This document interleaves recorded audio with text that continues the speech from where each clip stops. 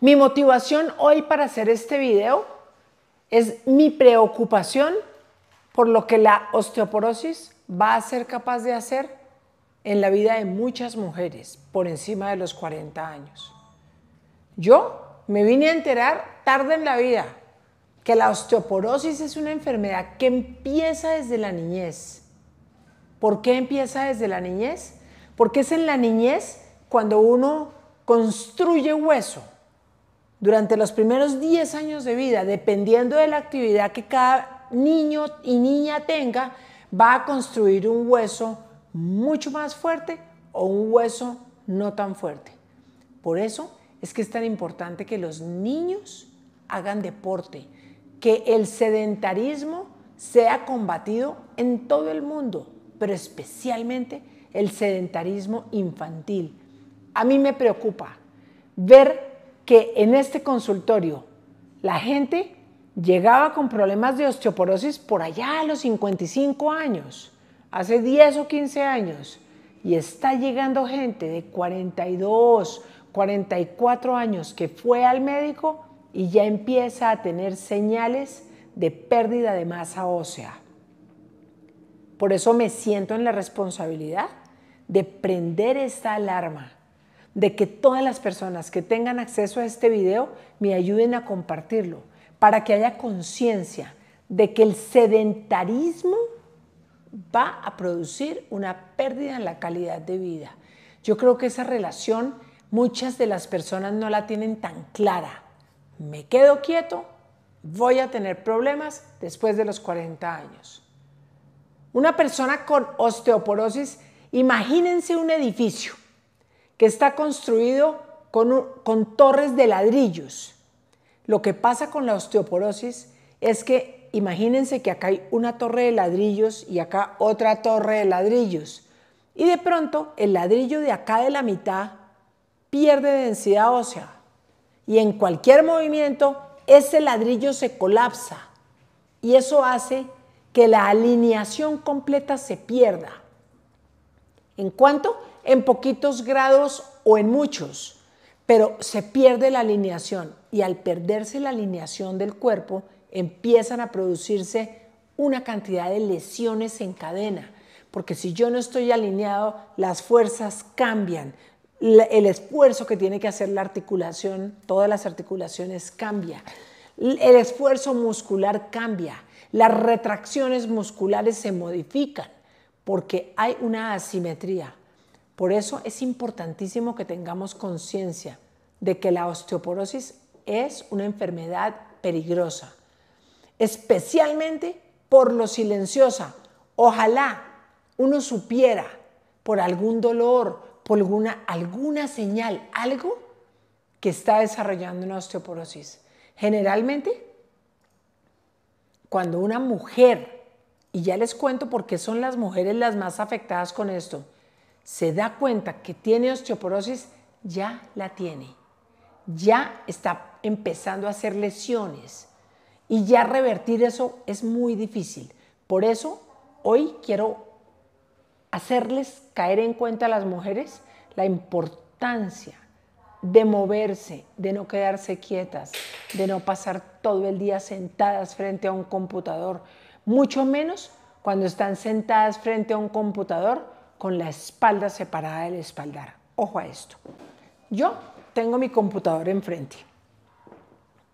Pero mientras yo digito y atiendo todas las reuniones y todo, hago esto. Miren mi espalda hago esto y trabajo horas así. Eso obliga a la columna vertebral a tener que estar sostenida con sus propios músculos. Y eso lo aguanta uno unas horas, pero el músculo no está hecho para tener una contracción sostenida por horas y horas y horas. Y eso termina en que uno adopta esta posición, porque los músculos ya no dieron más. Esa posición puede producir un acuñamiento vertebral, que es que la vértebra, que era un cilindro totalmente cuadrado, se acuña de un lado y eso hace que uno quede en esta posición. Cuando la posición de una persona es esta, por un tema muscular, se puede corregir. Cuando la posición de una persona es esta, porque acuñó una vértebra, porque tenía poquita densidad ósea y la vértebra se aplastó, eso no lo desaplasta a nadie. La vértebra ya se convirtió en una cuña y la espalda de esa señora ya va a tener un ángulo hacia adelante. Piensen lo que les estoy diciendo, porque es un tema que a mí realmente me preocupa. ¿Cómo empieza este proceso? El hueso está compuesto por dos tipos de células, osteoblasto y osteoclasto. El osteoblasto es el encargado de producir nuevas células de hueso, es la fábrica. Él todo el día trabaja y produce hueso, hueso, hueso, hueso, hueso nuevo, hueso nuevo, hueso nuevo. El osteoclasto es el encargado de recoger el hueso viejo, el hueso que ya se acabó, que ya cumplió su función, que ya está como muriéndose, el osteoclasto limpia el hueso, recoge ese desecho y se lo lleva. Cuando llega la edad en las mujeres de la premenopausia, pasan dos cosas. Se baja la progesterona y se baja el estrógeno, que son dos hormonas, que es lo que produce la menopausia. El estrógeno tiene una cantidad de funciones, pero dentro de sus funciones está estimular el osteoblasto, estimular la fábrica de hueso. En el momento en que la producción de estrógeno baja, ya la fábrica de hueso no tiene gasolina. Entonces la fábrica de hueso empieza a trabajar lenta y la cantidad de hueso que se produce es más poquita, porque no hay estrógeno que estimule esa fábrica. Y al mismo tiempo, el osteoclasto está regulado por la progesterona. La progesterona es la que mantiene el osteoclasto controlado, que recoja solamente la cantidad de hueso muerto que ya se acabó, pero que no recoja mucho, porque si recoge mucho, hace que el hueso se vuelva poroso y que se produzca una osteoporosis. Faltando la progesterona, el osteoclasto se desboca a trabajar, a recoger hueso sin ningún filtro, a recoger hueso. Entonces es una fábrica de hueso trabajando a media marcha, como si estuvieran en huelga. Y unos osteoclastos trabajando 24 horas al día recogiendo hueso. Eso se traduce en que un hueso que es con una densidad ósea buena, fuerte, empieza a hacer huequitos por dentro, se empieza a volver poroso. Y eso es lo que se llama osteoporosis. ¿Cómo lo podemos revertir? Todas, todas las mujeres de 40 años para arriba, hagan ejercicio, hagan ejercicio. Les voy a dejar hoy unos ejercicios que les van a ayudar para mantener la densidad, o sea, bien. Todo lo que sea descarga de peso va a hacer que la pierna, por en este caso las dos piernas, entiendan que tienen que producir más hueso porque les estoy poniendo carga. Le quito la carga a una pierna y dejo todo el peso de mi cuerpo en una sola pierna. Y esta mano solamente la uso por si me voy a caer. De resto solamente me agarro del asiento y me quedo ahí. ¿Cuánto tiempo? Mínimo 30 segundos ojalá un minuto. Cuando ustedes empiecen a sentir un dolorcito como en la nalga, dolorcito acá, esos son los músculos que están fatigados, claro, porque uno no los tiene acostumbrados a hacer eso. Pero en la medida en que uno haga esto y lo repita, el mensaje al cerebro es, produzca hueso. Y hace que se produzca hueso en el cuello femoral, que es de los puntos del cuerpo que más se fracturan por osteoporosis por lo menos cuatro o cinco repeticiones de este lado y luego con la otra pierna. Ponerle carga. Esto ayuda un montón, un montón. No todas las mujeres a las que les estoy hablando tienen el tiempo de salir a caminar, de ir al gimnasio o de hacer el ejercicio que quisieran por su trabajo, por sus rutinas o por lo que sea. Esto lo puede hacer todo el mundo. Estamos tratando de mejorar la densidad ósea del cuello del fémur.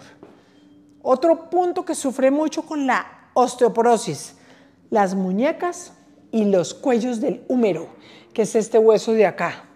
Cogen el, un asiento, empuñan la mano así y le descargan peso. Y estando ahí, hacen esto. El principio es el mismo del ejercicio de las piernas. El brazo cuando perciba esta cantidad de peso encima va a subir su tono muscular y a mejorar su densidad ósea. Aquí también. Lo mismo, estoy subiendo densidad ósea de muñeca y de cabeza del húmero. La columna perfectamente alineada para evitar lesiones. Sostengo.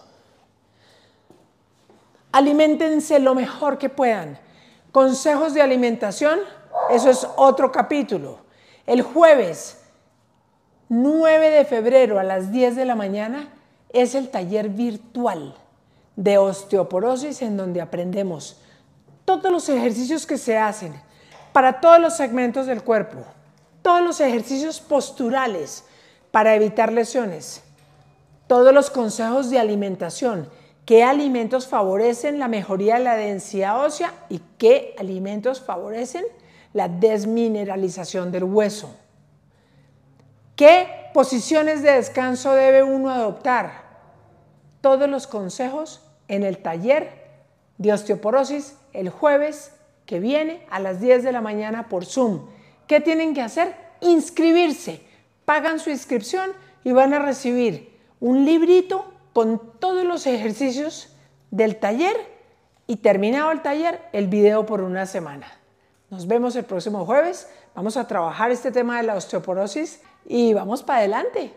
Un abrazo a todos. Recuerden seguirme en todas las redes sociales porque todos los días posteamos información que les sirve a todo el mundo.